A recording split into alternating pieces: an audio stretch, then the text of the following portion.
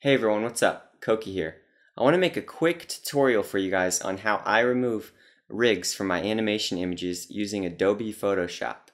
So I'm working on a new short featuring SOCOM's Spectre character fighting a skeleton.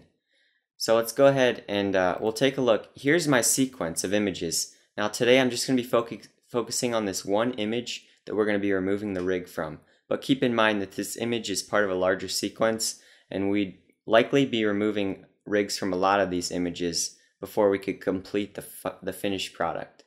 Alright, so I already have Photoshop open, so let's go ahead and get started. So first in Photoshop, I'm going to go ahead and open the image that I want to remove the rig from. So here's my image.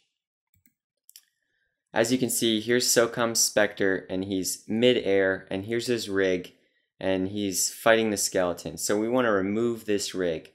So remember, whenever you're shooting, you always want to take a clean plate, which is an empty image of your background or your scene that you're shooting in, with your camera in the exact same position that you're going to be shooting in. So let's go ahead and open our clean plate.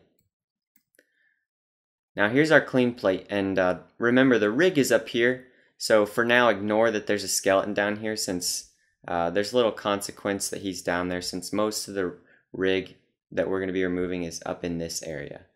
Now, the, for, all we're going to do is we're going to select the Move tool, and I'm going to grab and click on my background clean plate.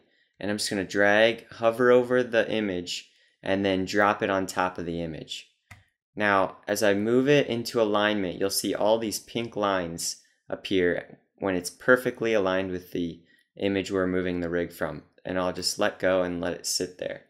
Now, our clean plate's still uh, higher up in the layer list than our image we want to remove the rig from. So I'm going to go ahead and unlock what, what it's calling the background, which is my main image. And I'm going to go ahead and grab the clean plate layer and drag it down to the background.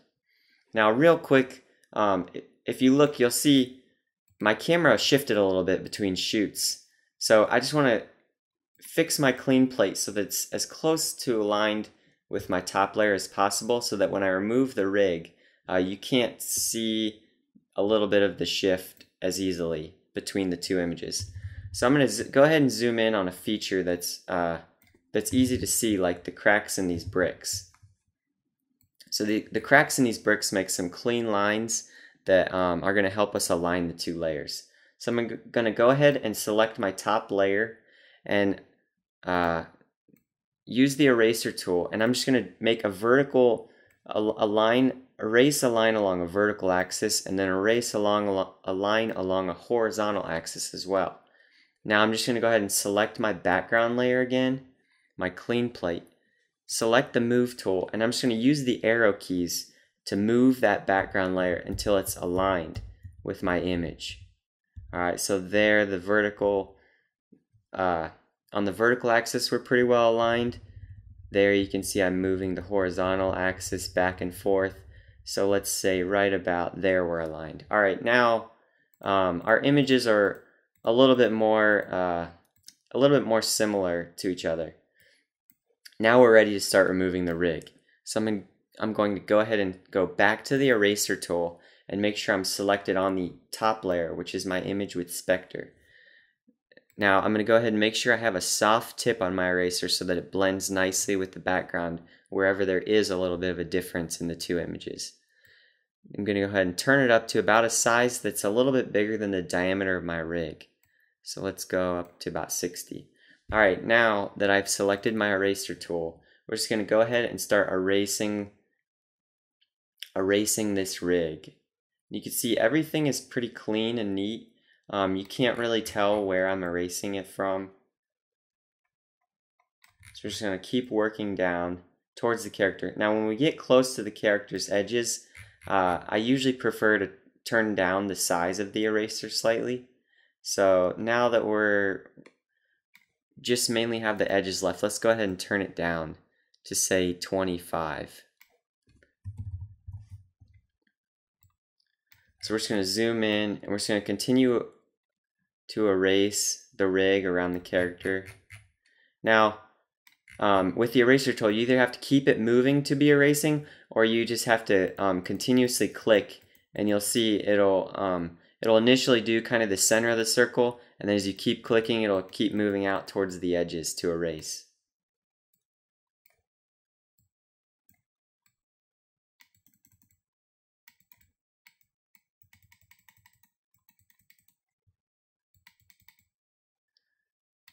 Now, if your images are large enough, uh, you don't have to worry too much about making the edges perfect. So even though I'm erasing a little bit of fabric here, uh, in the grand scheme of things, you can't see that level of detail in the final shot.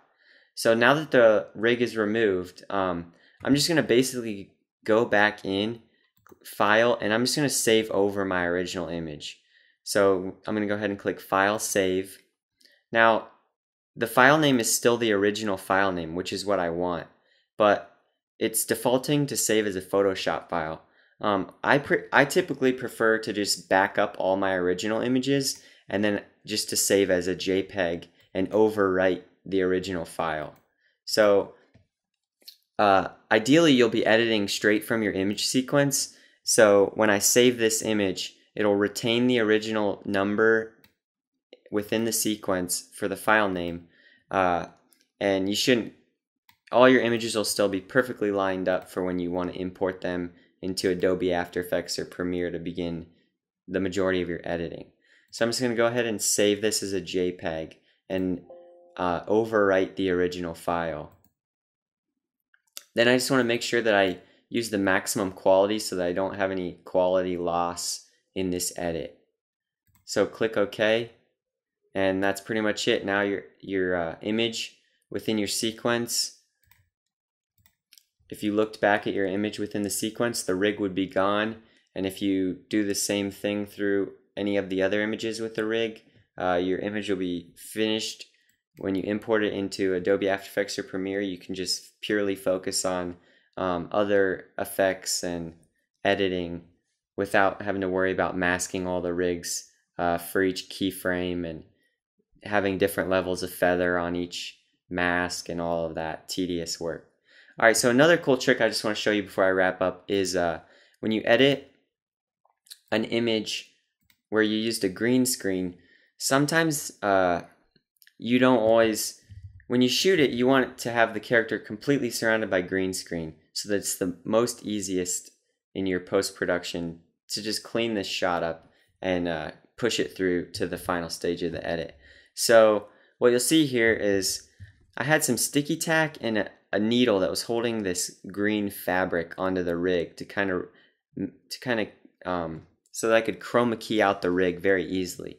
But if you'll see once again, uh, these the sticky tack and the needle they're not going to come out with the chroma key. So an easy fix for that is to come in to your image in uh, Photoshop, use the clone stamp.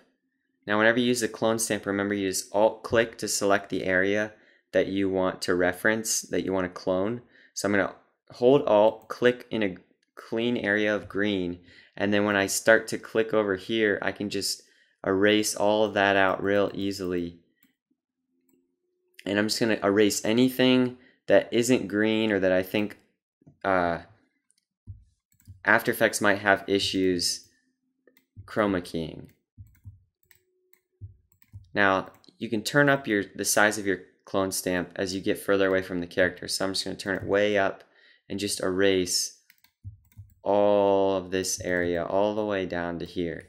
Now what you'll see is when I import this into After Effects, um, I can just make a very uh, a very large mask around the character that I don't have to tune for every single frame of the animation and for the most part I won't have to do any masking in After Effects. Well, that's about it for today, guys. Thanks for watching. Um, hope you can stay tuned for my upcoming videos. And uh, for all you animators out there, uh, keep up the good work. And I can't wait to watch more of your guys' animations soon. Thanks for watching.